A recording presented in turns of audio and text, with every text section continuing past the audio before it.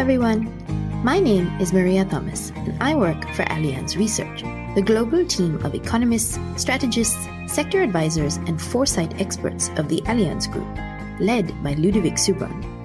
Welcome to Tomorrow, a podcast where we'll be talking about our latest analyses of economic and capital market developments, as well as our views on trends affecting risk management. Let's get started. Is the ECB's climate talk having an effect on ESG bonds?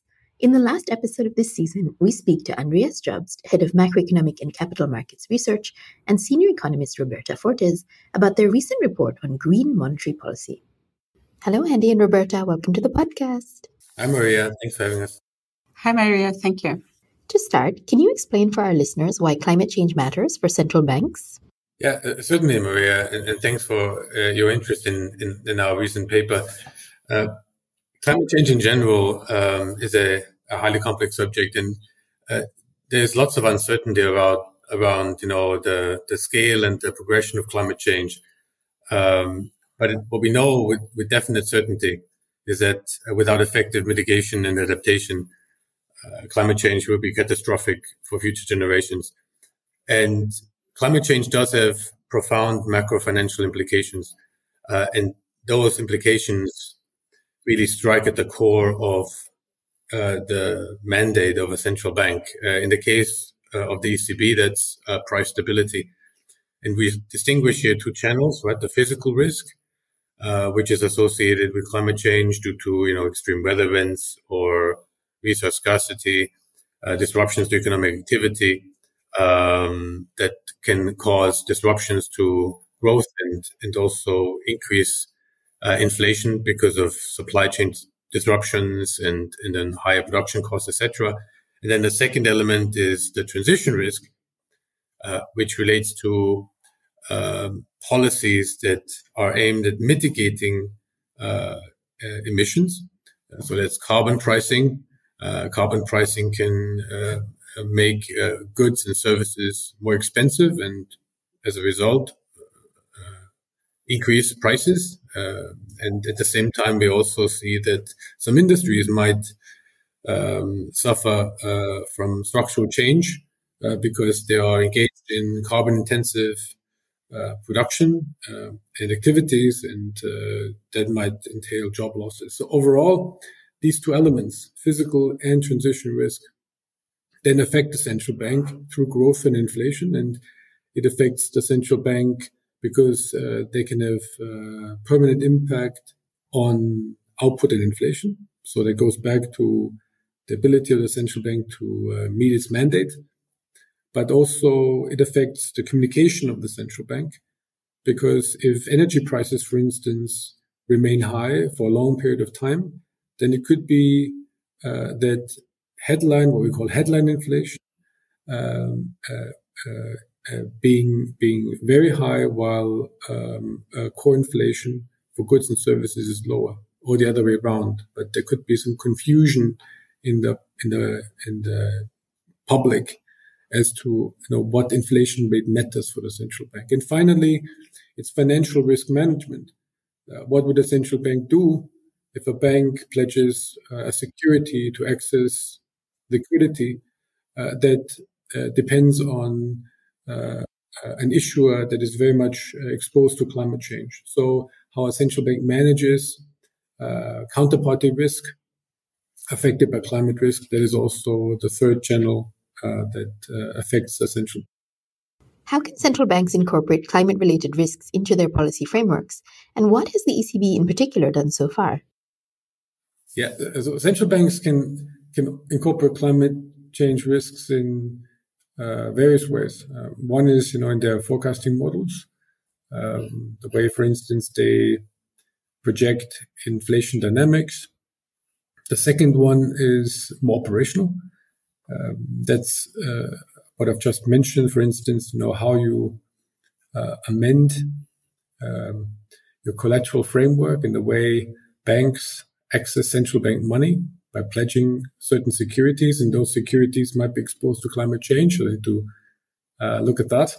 And then thirdly is um, using using really uh, the power of the central banks uh, voice um, and moral suasion, if you will, when it comes to fostering climate related disclosures and, and transparency.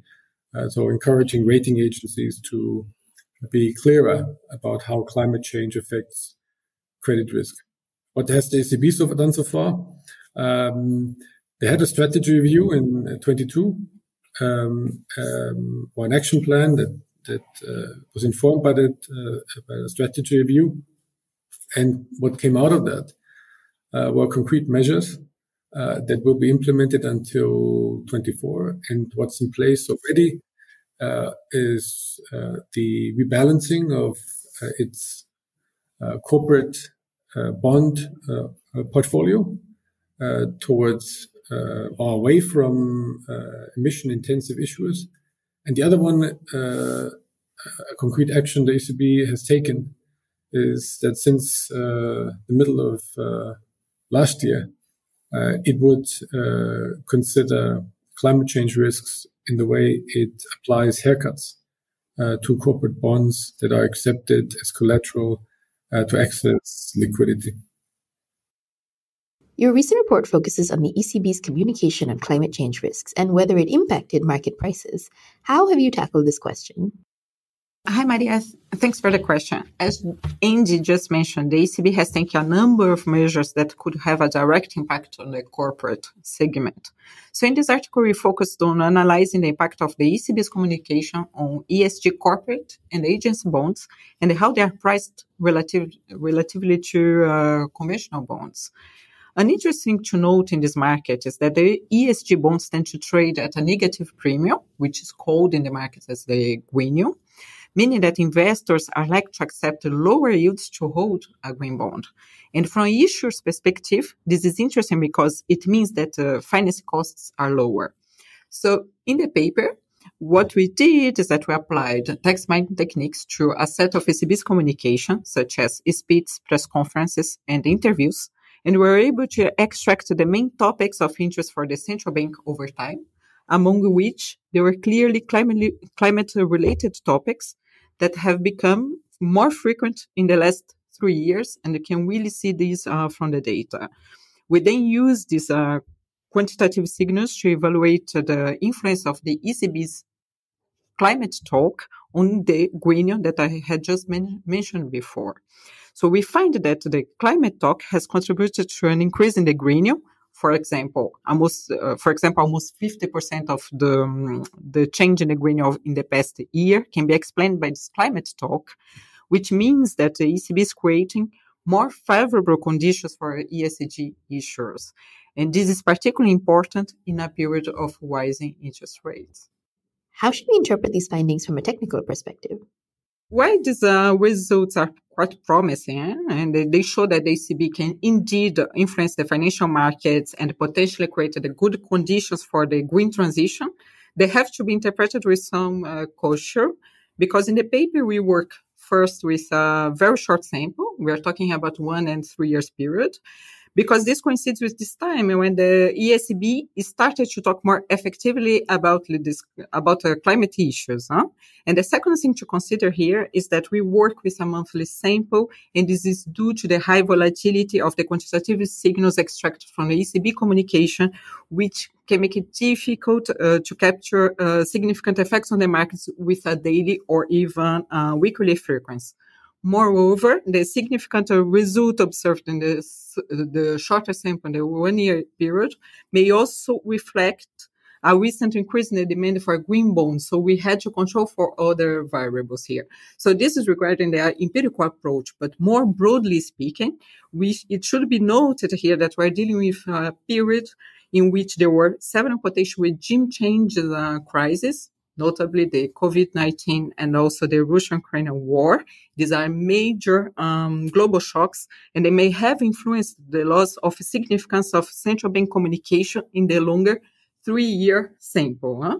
But here, overall, to sum, sum up, why only future research can uh, will be really able to to prove our results uh, for example, as we are going to have more data, we are going to have a larger sample, we can definitely say that the green policy adopt, adopted by the ECB seems to be on a good track it seems to be an important tool for the green transition and sustainable development.